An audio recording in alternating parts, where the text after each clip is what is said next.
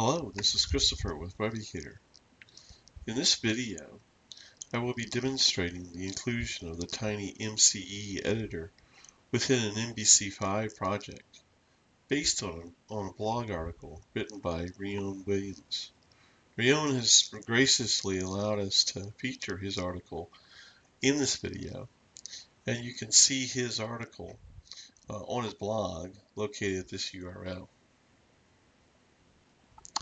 Coming into Visual Studio 2015, I've already created an MVC5 project within here and added some of the files that we're going to be using. One of the things we do need to add in here is the TinyMCE editor functionality. To do that, we're going to come up to the project, do a right click, and we're going to uh, add this using NuGet.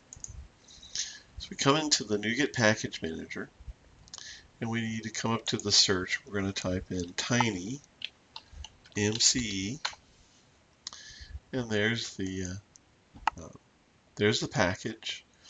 We should note that the uh, the version is uh, this is currently under version 4.x.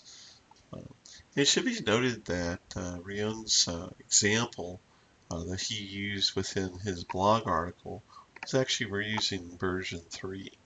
And so some of the uh, some of the, the, features and functionality has changed.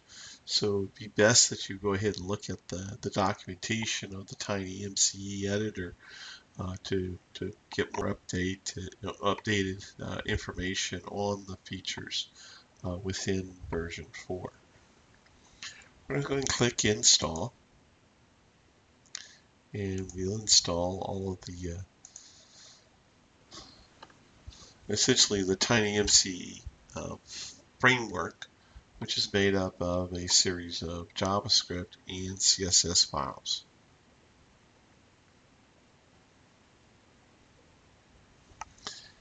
Now this has now been added, so we'll go and close the, uh, the NuGet package manager down.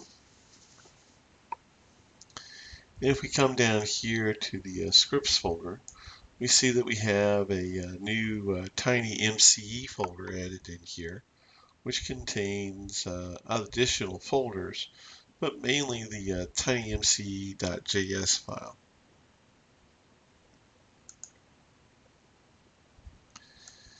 Now, in terms of setting this up using uh, example within his blog article, we created a uh, an example class over here it's going to contain just uh, one property, HTML content. It does have an allow HTML attribute on here, so it won't be blocked uh, by uh, HTML encoding uh, built into uh, into the uh, MVC view. We then created a controller. This is the, the home controller uh, we're going to have uh, an index method uh, that will just present the view and then uh, a second index method which is going to capture the, uh, the data coming out of the view and then we're going to represent the data. Uh, but what we're going to do is we want to display essentially the text that actually came from our TinyMCE editor. Of course, we have to do this as a post operation, so that way it allows us to, to be able to capture the uh, the data that was uh, that was generated within the uh, within the TinyMCE editor uh, initially. Next, we look at the uh, the view itself, and of course we're we're using a uh, we're using a view with a layout, so that way we can see the actual code that we're really looking at here in, in particular, uh, we have a text area for. Um, this is going to use the, uh, the HTML content um, that's coming within our model, which is uh, example class as is uh, indicated by the, uh, the model directive at the top of the file.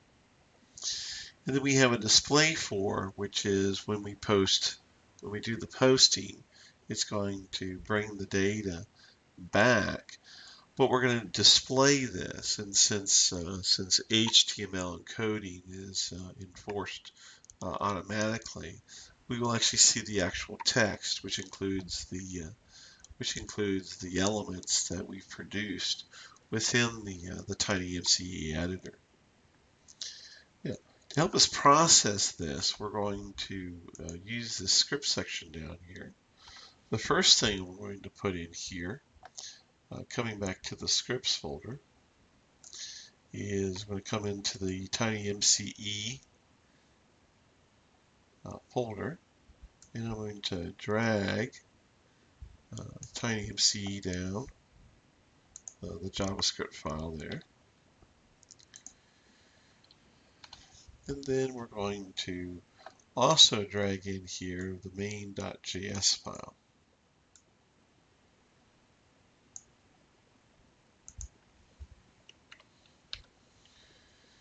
Yeah, what we're going to put in main.js is just a simple uh, example of the, uh, the TinyMCE editor. So we'll come over here to main.js. We don't have anything contained in here at all. We're going to use uh, tiny dot init and this just takes a uh, just a set of uh, set of data information just to keep this simple, put a semicolon here. I'm just going to use just one property, and that's the selector property. And define it as text area.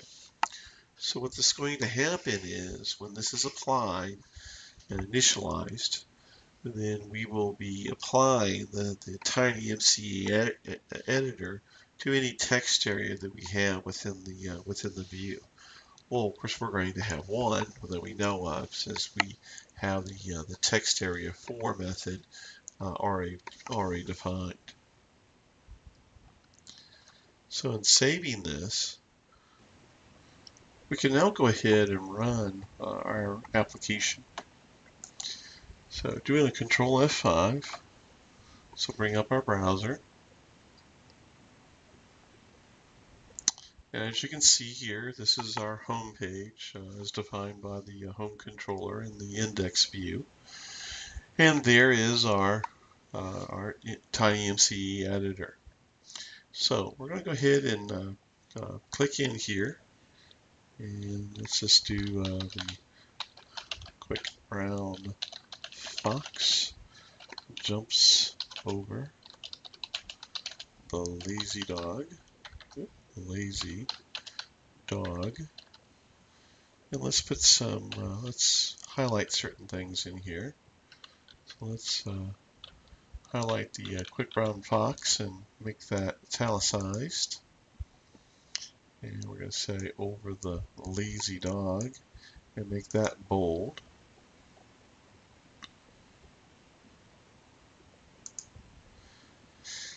Then we can go ahead and now hit uh, create. And what that'll do is that'll that'll send it back to the uh, to uh, to the server, uh, process it, send it back uh, to this to this view again, or to the to the next representation of this view. But it's going to have the posted text. So when I click on create, sure enough, here's the text. we have uh, an emphasis uh, uh, element or EM element around quick brown fox and a strong element surrounding over the lazy dog. So we see how the, uh, the bold and italicized uh, information or functionality has been, has been added within here. Also, we note the fact that this is all uh, uh, compartmentalized inside of a inside of a paragraph uh, within the uh, from the uh, from the editor itself.